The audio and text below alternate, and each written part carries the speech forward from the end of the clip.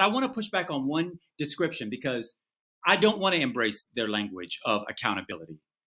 What, what, what they are pushing is punishment, reward for the people who agree with me, reward, and those who disagree, punishment that they are disguising as accountability in the process. And then for those of us who are saying teachers can't be mom, dad, social, uh, uh, academician, uh, therapist, also uh, the the social worker who is going and taking care of the family back at home. That we we we have to understand that we're complex individuals, complex systems that require really competent people who really love and enjoy their work because nobody is doing this for the money. At least nobody that I've ever met says I, am a teacher for the money. So what they've done to the regular person out there is, uh, in some way, force them to believe that for those of us who believe that we ought to treat education as the right that it is for every single child in America,